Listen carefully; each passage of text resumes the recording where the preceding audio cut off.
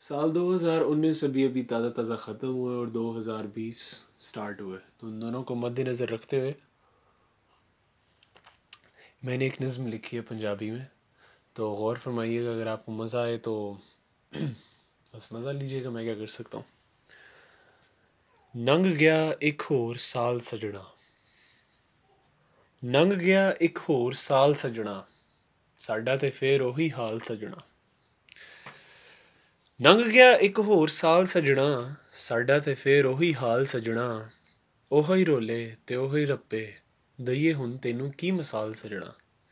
ਨੰਗ ਗਿਆ ਇੱਕ ਹੋਰ ਸਾਲ ਸਜਣਾ, ਸਾਡਾ ਤੇ ਫੇਰ ਉਹੀ ਹਾਲ ਸਜਣਾ।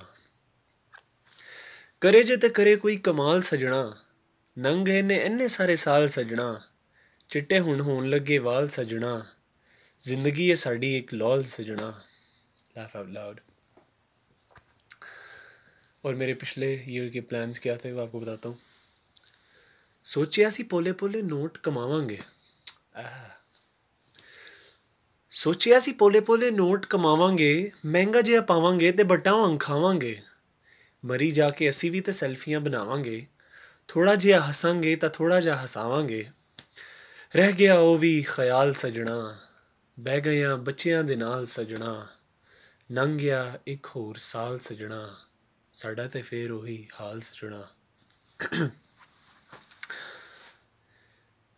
तू यो मेरा दिल है तो तू ही मेरी जान वे ये अगला शख्स मुझसे कह रहा है तू यो मेरा दिल है तो तू ही मेरी जान वे तेरे लिए तो छड़ना मैं सारा जहान वे करके तू वादे ते ਉਹ ਵੀ ਡਰਾਈ ਦੇ ਦੇ ਕੇ ਪਪੀਆਂ ਤੇ ਉਹ ਵੀ ਹਵਾਈ ਹੁਣ ਨਾ ਕੋਈ ਮੈਸੇਜ ਨਾ ਕੋਈ ਕਾਲ ਸਜਣਾ ਦਿਸਿਆ ਨਾ ਤੂੰ ਇੱਕ ਗਜ਼ ਵੀ ਨਾਲ ਸਜਣਾ ਲੰਘ ਗਿਆ ਇੱਕ ਹੋਰ ਸਾਲ ਸਜਣਾ साडा तो फिर वही हाल सजना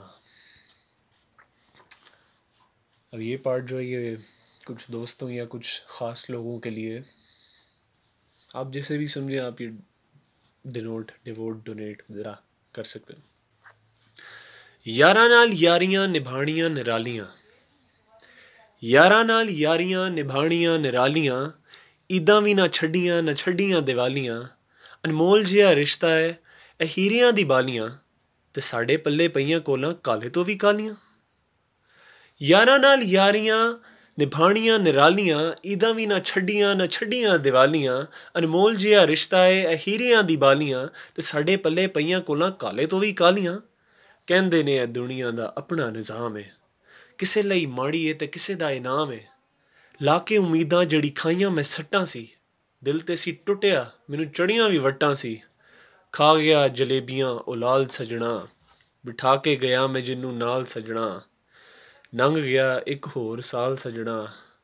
ਸਾਡਾ ਤੇ ਫੇਰ ਉਹੀ ਹਾਲ ਸਜਣਾ। Thank you very much for watching I hope you enjoyed it ਹੋਰ क्या ਕਹਿ ਸਕਦਾ हूँ बाय बाय